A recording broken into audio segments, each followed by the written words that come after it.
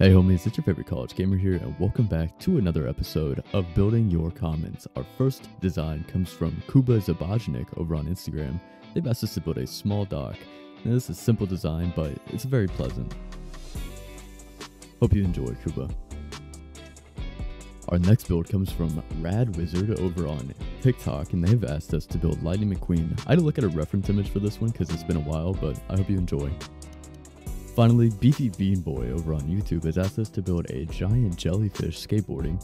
Now, I had no reference image for this because where am I going to find that? But I decided to go with the jellyfish from SpongeBob, and this is honestly one of my favorite designs. Had to give him a helmet, obviously. I hope you enjoy.